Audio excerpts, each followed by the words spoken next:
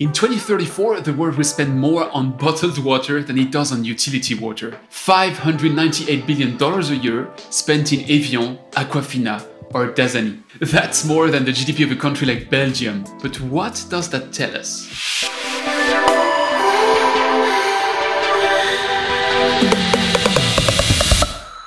The Holywell bottling plant in the United Kingdom is considered to be the first bottling water plant in the world. In 1622, they started filling glass bottles with their mineral water and selling it. The marketing promise behind this move was to offer the medicinal value of that mineral water to people that had no access to the source. That medical claim was the main selling point of water bottles that pharmacies mainly distributed until the early 20th century. Today's point is not into the full details of the bottling history, so I I won't tell you too much about how Johann Jakob Schweppe discovered how to carbonate water in 1783 or how Dupont patented polyethylene terephthalate in 1973, thus opening the market to PET bottles. Indeed, bottled water could have died long before the age of PET. Tap water became much safer at the beginning of the 20th century when disinfection methods became popular, notably ozone and chlorine. And indeed, until the 1970s, bottled water was much of a niche. At the beginning of that decade, only 1 billion liters a year of bottled water was sold in the USA, a good chunk of it being the 5 gallon bottles you could find in the offices. But a revolution was cooking, and as often with revolutions, it came from France. In the late 70s, Perrier was a sparkling water brand essentially distributed in high-end restaurants. But they ambitioned to become much more and to reach the mass market in the USA. USA. So they hired Bruce Nevins and initiated a market blitz with a wealth of TV ads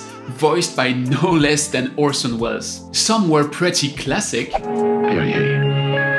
Its natural sparkle is more delicate than any made by man. Some others were quite, let's say, edgy.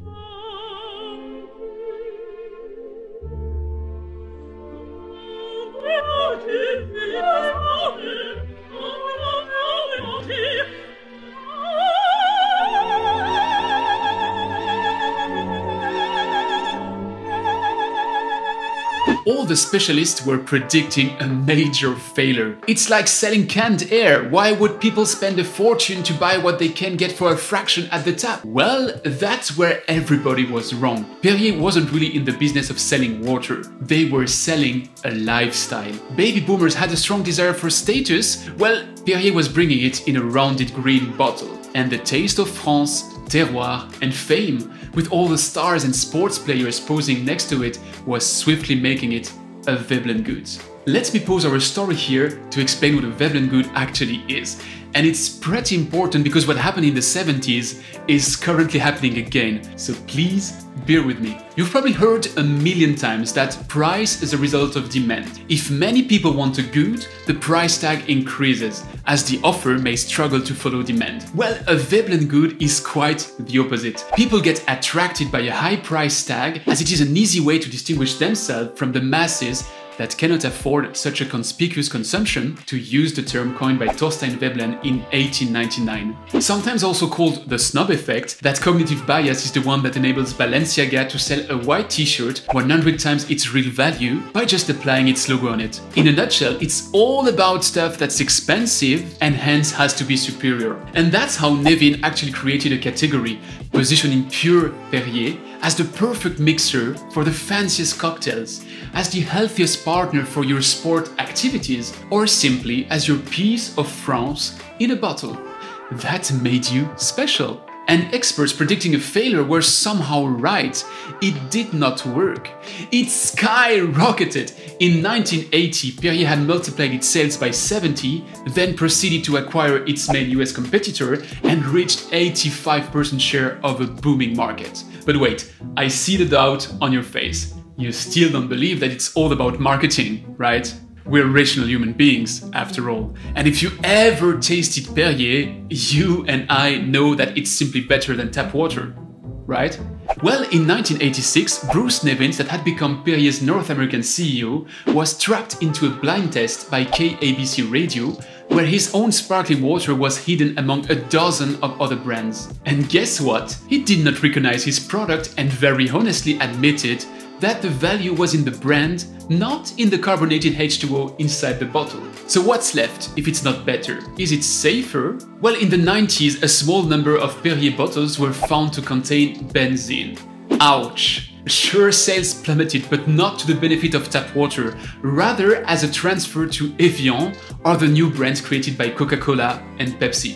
Today in California, 80% of people only drink bottled water, and in a country of iconic soda brands, bottled water surpassed carbonated drinks as the number one beverage in 2017. But there comes our second Veblen good, because if bottled water now becomes a commodity, and you're still a hipster wanting to distinguish yourself from the masses, how do you deal with that? You could return to tap water, as your grandparents did.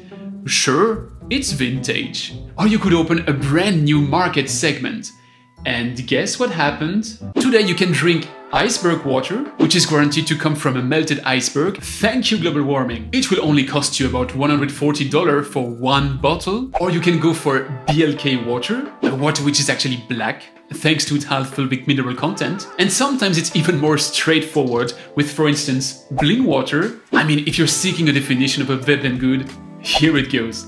I think you got my point, so let's zoom out. Are all consumers of bottled water victims of marketing? Well, sadly, no. Remember my introduction? The investments in bottled water may take over utility water in 2034. But today, apart from Mexico and a close call in the US, utility is still ahead. And if the world is on a track to raise its bottled investment from $123 billion in 2015 to $429 billion in 2030, it's widely because utilities will fail to close the water gap themselves by then. If you remember the UN Sustainable Development Goal number 6 we already touched on, it boils down to enabling universal access to water and sanitation. Let's face it, we are far from achieving this target even on the water side. Utilities don't get sufficient funding today in most places around the world to sustain their existing assets, and this in turn means that they're far from investing in the additional capacity that may bring drinking water to every household. And I'm not even addressing intermittent service, water scarcity, or non-revenue water here. We would have to make a specific deep dive for that. And spoiler, we will. Now, it's hard to live without water, so bottled water is a safe and convenient alternative if you can't find water anywhere else. Safe? Convenient, but expensive. When you spend 500 billion on bottled water, you don't get the same amount of water than when you spend 500 billion on utility infrastructure. Yet, I'm honestly not sure either that pushing everywhere the traditional central utility approach would be a much better solution than getting all our drinking water in bottles. Large infrastructure comes with its own caveats, ranging from inefficiencies and high operating costs to heavy capital needs through diverging incentives and even corruption. But does it really have to be this blue pill, red pill alternative? Well, again, no, I'm not sure it's a positive thing for the world to let bottling companies and utilities fight in a lose-lose war where utilities only underline how cheaper they are, while bottling companies create ads that degrade people's trust in their tap water. But there are in fact dozens of other avenues to explore, so it's maybe time to be creative. Let's pick only one for today and let's take the words number three as we speak, point of use treatment. Indeed, point of use has a bit of the beauty of the in-between. The principle is to treat water, as the name states, at its point of use. In the developed world, it often takes the shape of an under-the-sink unit, while in the developing world we see two types of systems, tabletop gravity-fed filters, remember my conversation with Srinath Bolisetty from BlueAct, or small RO UV devices. We could also factor in here atmospheric water generation, have a look at my discussion with Navkaran Singh from Akvo to that extent. When operated and maintained the right way, all these units will deliver satisfactory drinking water quality. So you can forget about the trust issue in utility water while avoiding the hassle of collecting and disposing of bottles. If you even want to reproduce the taste of your favorite mineral water, that's possible.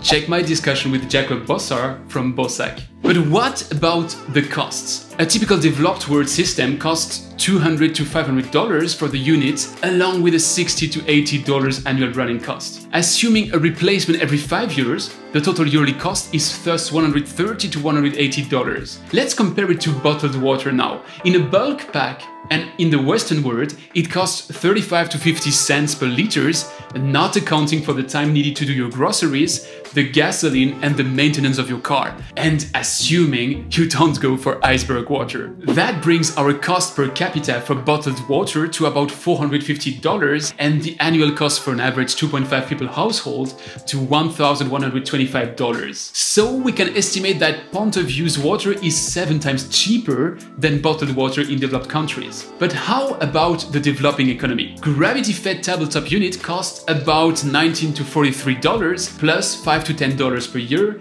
to replace the cartridges. Assuming a 3-year lifetime for your unit, the total annual cost is 11 to $25.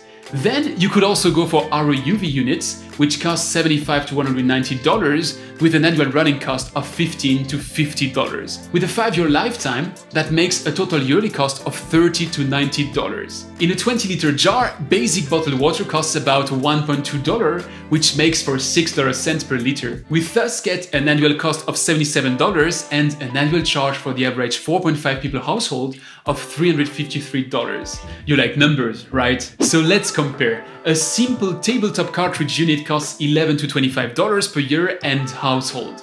A more advanced ROUV costs 30 to $90 and the most basic bottled water $353. So point of use is 4 to 30 times cheaper than bottled water. Now, point of use does not need to be designed for single households neither. We could imagine winning additional scale effect and cross efficiencies at the district level. That would turn point of use into decentralized treatments and micro utilities, kind of a 21st century reinterpretation of the utility, leveraging the power of digitization while skipping the part where you have to lay hundreds of kilometers of enormous pipes. But that's a different story we will cover another time. Now, if there's something that the aspiring solution shall copy from the bottled water industry, it's for sure its marketing. Here's a suggestion. Microbreweries are booming, right? So what if the next identity move for hipsters of all kinds was to support the development of their local micro utility?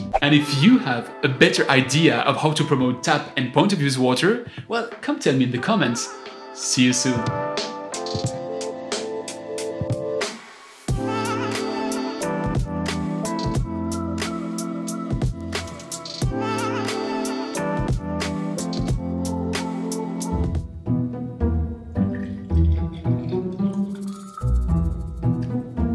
Tap water reassuringly expensive.